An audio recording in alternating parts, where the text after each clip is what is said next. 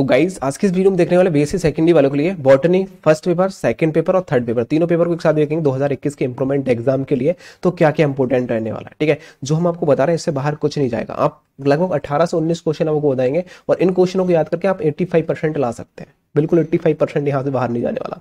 ठीक है? तो क्या क्या आपको पढ़ना पड़ेगा? इंप्रूवमेंट एग्ज़ाम 2021 के लिए तो याद रखो, जो जो बता रहा हूँ, आप उनको टिक लगा लो अपने बुक नोट्स गैस पेपर पे। क्योंकि तीनों पेपर जिस यूनिवर्सिटी के एक साथ हो रहे हैं, जैसे कि एमजेपी आर्य रोहल खंड है, तीनों पेपर एक साथ लेगी, ठीक है? जैसे आपका मैन एग्ज़ाम हुआ था, वैसे ही होगा, कोई इशू नहीं है इसमें। और साथ ही साथ आपका या फिर आप लखनऊ यूनिवर्सिटीज हैं, या फिर आप कह सकते हैं महात्मा गांधी काशी विद्यापीठ से तो भी आपके लिए यही मोस्ट इंपोर्टेंट रहेंगे, यहाँ से बाहर कुछ नहीं जाने वाला, ठीक है? तो यहाँ से काफ़ी इंपोर्टेंट है, बहुत ज़्यादा इंपोर्टेंट है, ठीक है? और बाकी आपको पिछली बार भी आपने पढ़े होंगे काफ़ी क्वेश्चन तो आपको सब कुछ याद होगा, ठीक है? बस थोड़ा सा आपको देखना है, इससे ज़्यादा कुछ याद करने की ज़रूरत नहीं पड़ेगी।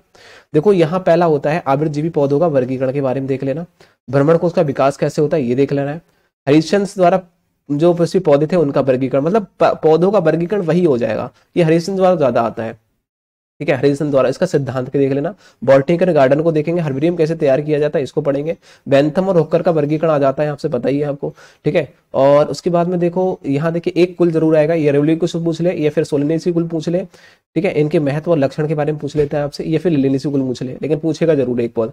और ऊतक देख लेना टिश्यू सिस्टम क्या होता है, किसका, पौधे के अंदर ऊतक क्या होते हैं हर्बेरियम कैसे तैयार किया जाता है, ऊपर बता रखा है, नीचे देखने की ज़रूरत नहीं है। उसके बाद में आसंग जनन क्या क्या होता है, जैसे हम एपोक्सिस एपोमिक्स कहते हैं। तो एपोमिक्स क्या होता है? आसंग जनन को हम अब संयोजन भी बोलते हैं, ठीक है? और इसको बाद में ये भी देख लेना, मेरिस्टम क्या होता है? मेरिस्टम बहुत ज़्यादा पूछा जाता है, जिसे विभोजकता का भी कहा जाता है। तो कैम्बियम कैम्बियम क्या होता है? इसको आप पढ़ेंगे, द्विनाम पद्धति के बारे में देख लेंगे। आसंग जनन की द्विविध वृद्धि मोस्ट इंपोर्टेंट है। ये ऐसे क्वेश्चन बहुत ज़्यादा पूछे जाते हैं, ठीक है? उसके बाद में आसंग वृद्धि होगी हमारी लोग और उसके बाद में हम, देखिए बहुप्रता क्या होती है, इसके महत्व के बारे में याद करेंगे। उसके बाद में, महत्व के बारे में, देखने के बाद में नीचे जाएँगे और नीचे हमें दुनिस्टजन मोस्ट इंपोर्टेंट है। दुनिस्टजन को पढ़ेंगे। और देखिए जीवनीय या फिर मेटाजीनिया क्या होता है? इसको पढ़ लेना, शॉर्ट में आपसे पूछ सकता है। द्विसंगी पुंगेसर क्या होता है? एक संगी पुंगेसर क्या होता है? इसमें अंतर पूछ लेते हैं आपसे। विलियन क्या होते हैं? ये पूछ लेगा। ठीक है? और उसके बाद में नीचे हम जाएँगे। और यहाँ हम देखेंगे बॉटनी के। देखो, यहाँ है हमारा बी बीएससी सेकेंड ईयर का बॉटनी का सेकंड पेपर है, ठीक है? तो इसमें हमें क्या क्या देखना है? 2021 के इंप्रूवमेंट एग्ज़ाम के लिए तो वो ध्यान दो। तो ये देखने के लिए हमें सबसे पहले क्या करना पड़ेगा? देखिए गंजी कम्प्लेक्स को, उसके कार्य क्या होते हैं, ये हम याद करेंगे। इस कोश, इसमें ठीक है? और अल्ट्रा स्ट्रक्चर क्या होता है? पादप कोष का अल्ट्रा स्ट्रक्चर और प्लांट सेल्स क्या होता है, इसके बारे में हम याद करेंगे। ये क्वेश्चन आपके लिए मोस्ट इंपोर्टेंट है। क्रोमोसोम तो जानते हो, गुणसूत्र क्या होते हैं? और केंद्रक की संरचना के बारे में हम याद करेंगे। ठीक है? इतने इसके पढ़ यहाँ पढ़ोगे और साथ ही साथ देखिए समसूत्री और अर्धसूत्री विभाजन इस मोस्ट इंपोर्टेंट है। इन दोनों को आप पढ़ के जाएँगे, याद करके जाएँगे। और उसके बाद में मेंडल के तीनों नियम को पढ़ लेना। हाइजेन वर्ग का जो हाइजेन वर्ग का सिद्धांत है उसको आप देखेंगे। म्यूटेशन क्या होता है? म्यूटेशन के टाइप क्या होते हैं? इनको पढ़ेंगे, ठीक है? और उसके बाद में इकोसिस्टम क्या होता है? जिसे हम परिसन तंत्र कहते हैं तो इसको हम याद करके जाएँगे, ठीक है? उसके बाद में नीचे हम और भी क्वेश्चन देखेंगे। देखो, अभी मैं आपको बताता हूँ। एक जिसे कहते हैं ना, ये कोष का विभाजन, ठीक है? तो ये कोष्ठक बहुत ज़्यादा पूछा जाता है क्वेश्चन में तो ये भी आप एक बार पढ़ के जाएँगे इसको। द्विनिश्चन मैंने ऊपर भी बता रखा है डबल फर्टिलाइजेशन क्या होता है तो इसको तो ये छोड़ो, इसको एक नीचे देखते हैं, ठीक है? ये मैंने ऊपर बता चुका हूँ, इस क्वेश्चन को रिपीट हो गया है। और एक मिनट देखो, एक यहाँ से यहाँ से हो जाएगा तुम्हारा, ठीक है? देखो, मैंने दो इकोसिस्टम आपको बता दिया ऊपर, और उसके बाद में, देखिए, उसके बाद में हमें इकोसिस्टम के बाद में हमें पढ़ना पड़ेगा प्लांट अंकुरण छोड़ो। देखिए जीन इंजीनियरिंग क्या होता है? इसको इकोलॉजी के बारे में देखेंगे और जीन इंजीनियरिंग ये दोनों में से एक क्वेश्चन पूछा जाएगा, वो भी पूछा जाएगा शॉर्ट में। याद रखना, वो भी पूछा जाएगा शॉर्ट में। तो अच्छी तरीके से इस क्वेश्चन को देखना माइट्रो कैंडिडिया क्या होता है?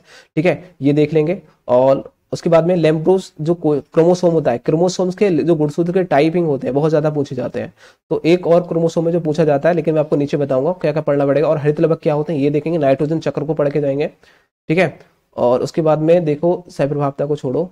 कार्बन चक्र को पढ़ लेना। लेमार्क बाद तो डार्विन बाद तो आपने बॉटनी जिलोजी में पढ़ा होगा तो उसको लेमार्क बाद डार्विन बाद की विवेचना वगैरह, ठीक है, आलोचना वगैरह ये सब पढ़ेंगे।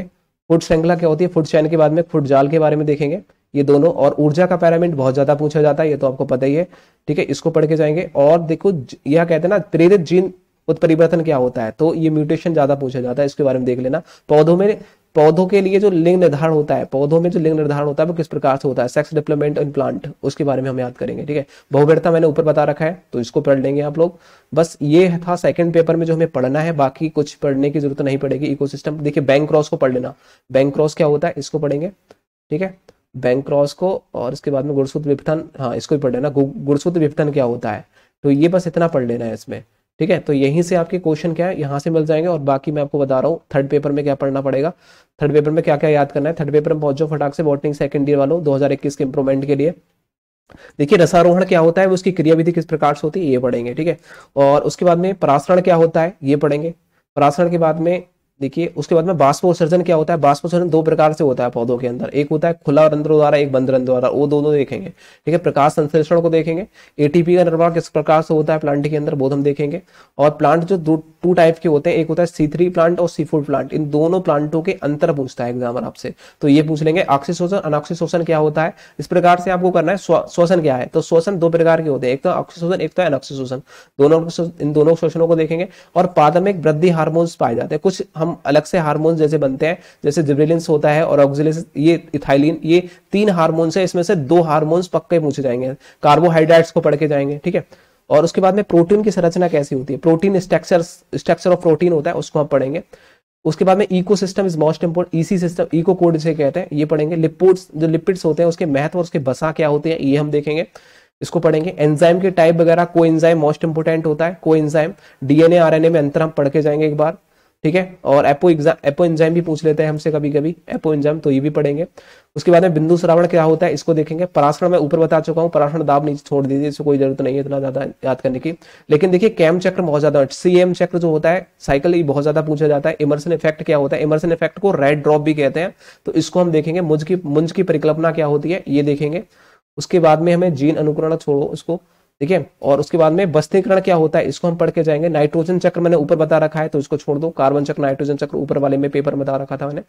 प्रो एंजाइम क्या होता है, इसको हम देखेंगे, ठीक है? और प्रेत फिट सिद्धांत क्या है मोस्ट इंपोर्टेंट रहेगा, इसको देख लीजिए। और जीन जो डरमेंसी होती है सीड डरमेंसी जिसे कहते हैं, बीज की संतुप्ति, ठीक है? प्रसुप्ति क्या होती है, इसके कार उसके संरचना के बारे में हम याद करेंगे।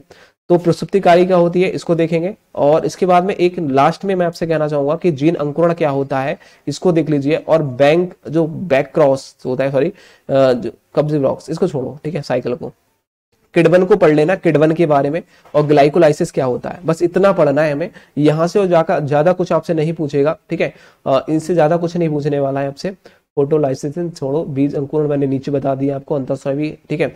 और हैंस स्टेप की फोर जिसे सी फोर चक्र कहते हैं, इसको पढ़ लेना एक बार, ठीक है? इसके और एंजाइम देखो दो, हमने आपको कहा एंजाइम एंजाइम जब एंजाइम का परिगीकरण पढ़ोगे तो वो एंजाइम एंजाइम क्या होता है, सब वही पढ़ लोगे। कुछ ज़्यादा देखने की ज़रूरत नहीं है इसमें, ठीक है? बस इतना सा आप देख के चले जाते हो तो मैं आपसे वादा करता हूँ कि 85 परसेंट मिलेगा। देखो यार, थोड़ी मेहनत करोगे ना, संघर्ष करोगे, तभी हम थोड़े एक्स्ट्रा नंबर ला सकते हैं। कुछ सोचो, बिना संघर्ष के कुछ है?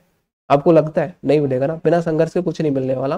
तो इसलिए थोड़ा सा एक्स्ट्रा यार मेहनत कर लो। और बाकी टेस्ट जो आपको होता है माइक्रो और माइक्रो तत्व पूछ लेता है, जिसमें पौधों के अंदर कुछ सूक्ष्म तत्व पाए जाते हैं, कुछ अधिक मात्रा में पाए जाते हैं, उनके बारे में। ये सब कुछ आप बना बना के लिख दोगे। केवल आपको एक बार पढ़ना है भाई, कुछ नहीं करना। एक बार आप इनको पढ़ लोगे ना तो एग्ज़ाम में आपको नहीं भी याद आ रहा है तो थर्टी फाइव परसेंट या ट्वेंटी फाइव परसेंट तो आपको याद रहता है। ठीक है, सौ परसेंट में से आप एक बार पढ़ लेते हो किसी क्वेश्चन को। मैं ये नहीं कहता कि सौ का सौ परसेंट याद होगा, लेकिन थोड़ा तो याद होता है। और उसके बाद में उसके आधार पे हम बना बना के करके आते हैं। लेकिन हाँ कभी भी छोड़ के नहीं आना है। कोई भी क्वेश्चन हो बच जाए। पहले वो क्वेश्चन करना जो आपको याद हो, जो नहीं है, उसको भी बना बना के लिख के आना है। ठीक है? तो आज की वीडियो में इतना ही। मिलते हैं नेक्स्ट तब तक के लिए। Bye bye